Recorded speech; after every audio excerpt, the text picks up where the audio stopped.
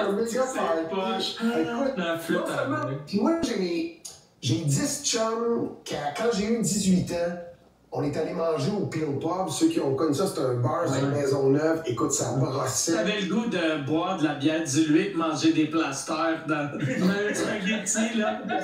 Le spaghetti était 99 cents.